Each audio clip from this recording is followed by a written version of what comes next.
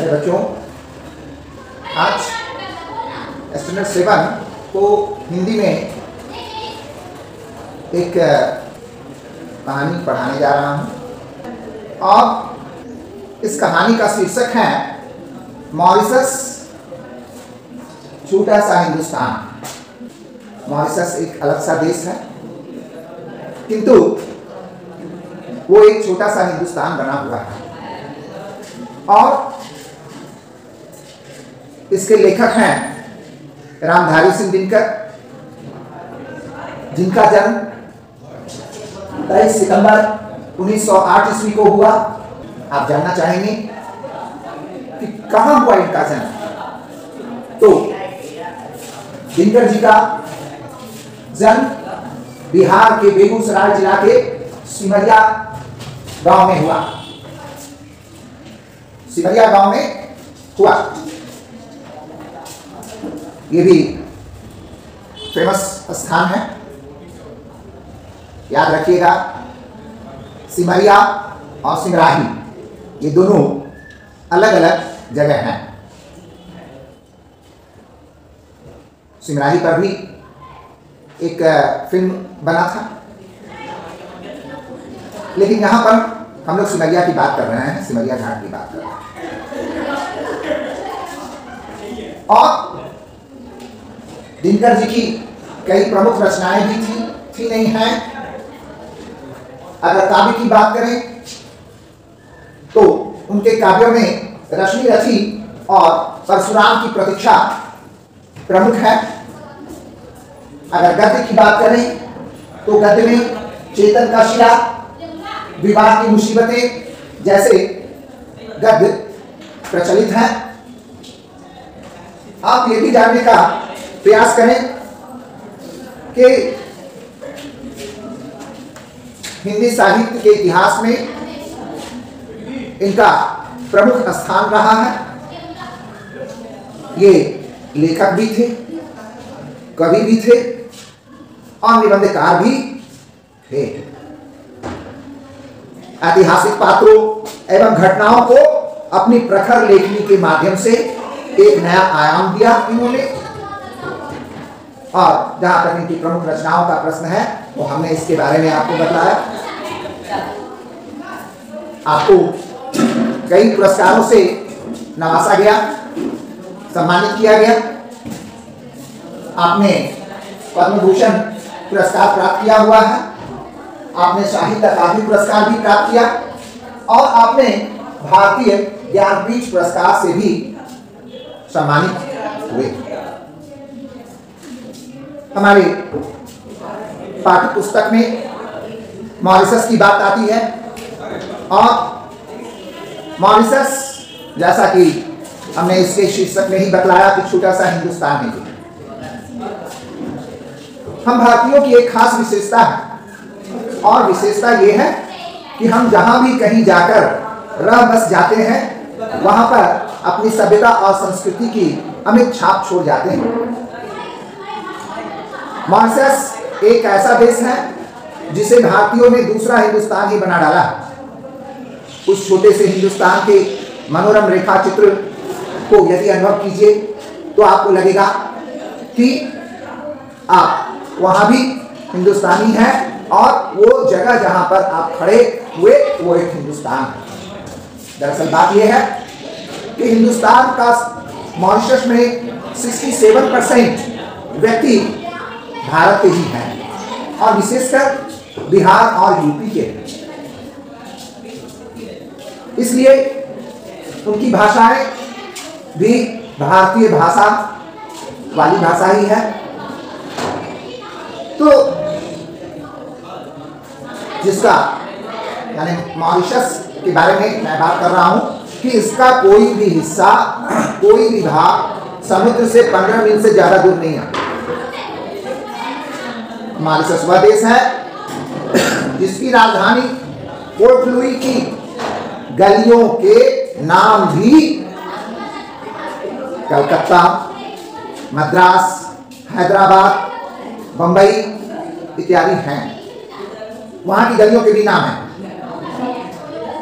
और जिसके एक पूरे मोहल्ले का नाम काशी है। मॉरिशस वह देश है, जहाँ बनारस भी है गोकुल भी है और ब्रह्म स्थान भी वहाँ पर हैं। कहने का मतलब यह है कि यहाँ पर के शहरों के नाम वहाँ भी हैं।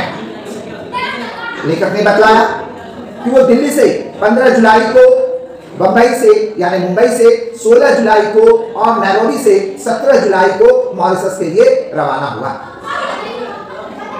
इधर से जाते समय नैरोबी में उन्हें लगा हाँ तो नैरोबी में उन्होंने एक रात और दो दिन बिताई। एक रात और दो दिन ठहरने का उनका मौका मिला। अतः मन में यह लोग जा गया कि मॉरिशस के भारतीयों और अफ्रीकियों से मिलने से पहले, है ना, अफ्रीकियों के मिलने के पहले उन्हें अफ्रीका के शेरों से मुलाकात कर लेनी चाहिए। कि चलो भाई यहाँ अफ्रीकी शेर भी देख ले। विमान दूसरे दिन शाम को मिलने वाला था। इसलिए वे जिस दिन नैराबी पहुँचे, उसी दिन उच्चायुक्त की उच्चायुक्त श्री भाटिया के साथ नेशनल पार्क में घूमने निकल गए। नैरोबी का नेशनल पार्क चिड़ियाघर नहीं है। शहर से बाहर बहुत बड़ा जंगल है, जिसमें घास अधिक है। पेड़ बहुत कम है, लेकिन जंगल में सर्वत्र अच्छी सड़कें बिछी हुई हैं। और पर्यटकों की गाड़ियाँ उन पर दौड़ती रहती है, दौड़ती रहती है। हमारी गाड़ी को भी काफ़ी देर तक दौड़ना पड़ा। हमारी से अभिप्राय यहाँ लेखक की गाड़ी की बात है। उनको भी दौड़ना पड़ा, मगर शेर उनको कहीं पर भी दिखाई नहीं दिया। वे कोशिश में रहे कि मुझे शेर दिख जाए शेर दिख जाए। किंतु नहीं। दूरी तय करने के बाद या हम लोग इस प्रकार कह सकते हैं कि 10-20 मील के भीतर हर सड़क छान लेने के बाद हम उस जगह पर जा पहुँचे जहाँ शेर उस दिन आराम कर रहे थे।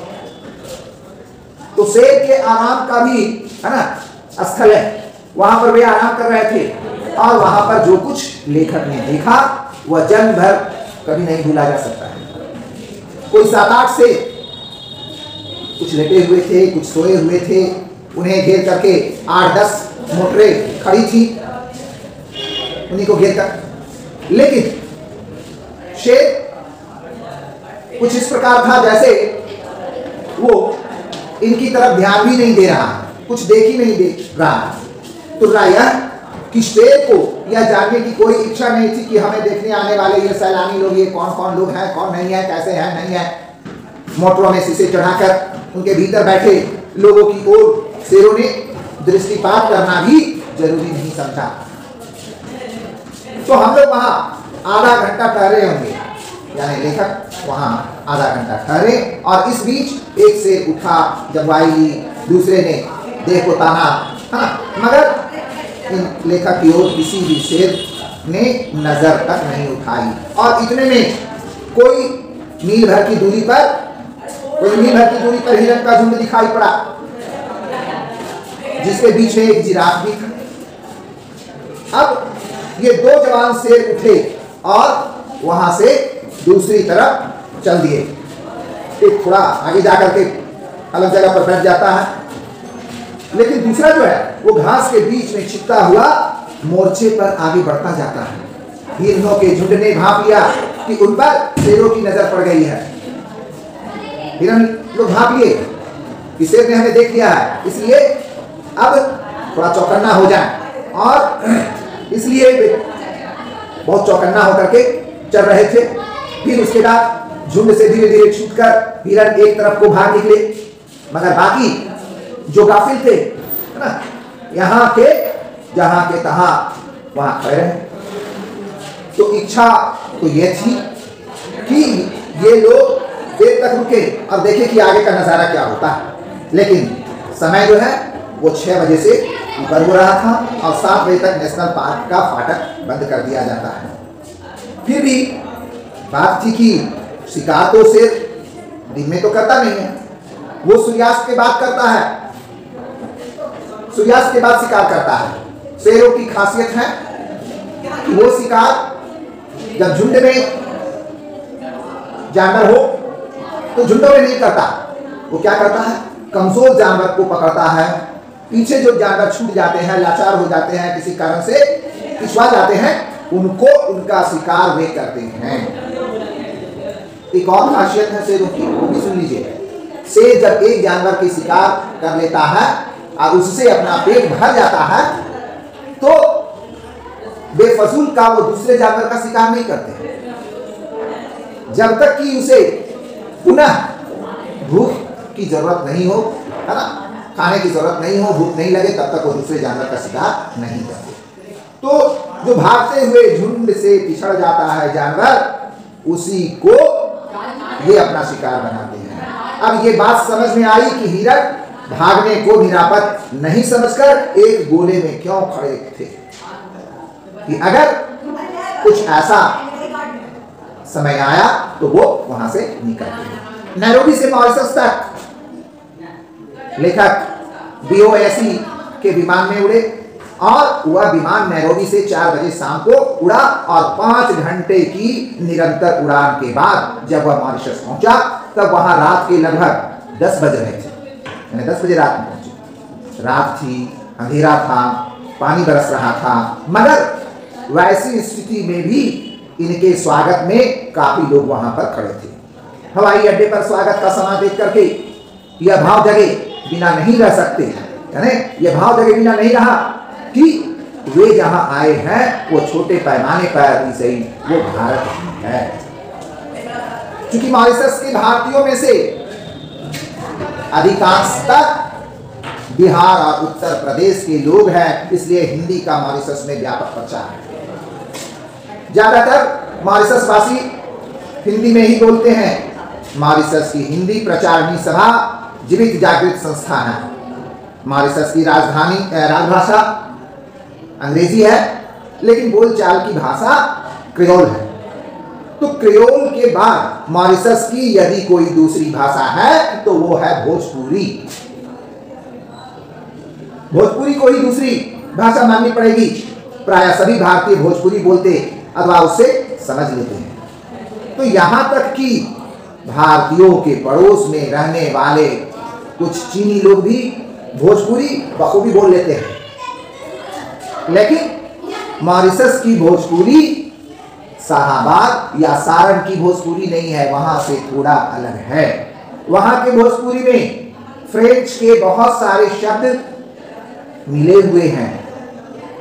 और आपको बाज बाज शब्दों के अर्थ पूछने पड़ेंगे। बाज बाज बाज बाज का मतलब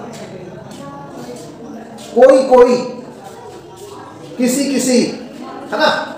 तो किसी किसी शब्दों के वहाँ पर मतलब भी पूछने पड़ेंगे। हिंदी और भोजपुरी मॉरिशस निवासी भारतीयों को एक सूत्र में बांधे हैं। और मॉरिशस को भारत के साथ बांधने का काम भी कौन कर रही है? तो हिंदी ही कर रही है। मॉरिशस में हिंदू संस्कृति की रक्षा का काम तुलसीदास जी का रामायण ने किया हुआ है। मॉरिशस में ईख की खेती और उसके व्यवसाय को जो सफलता मिली है, वह भारतीय वंश के लोगों के कारण ही मिली है। इन्होंने ही अपना योगदान में दिया है। सारा मॉरिशस कृषि प्रधान द्वीप है। क्योंकि चीनी वहाँ का प्रमुख और एकमात्र उद्योग है। भारत में बैठे बैठे हम यह समझ नहीं पाते कि भारतीय संस्कृति कितनी प्राणवती और चिरायु है।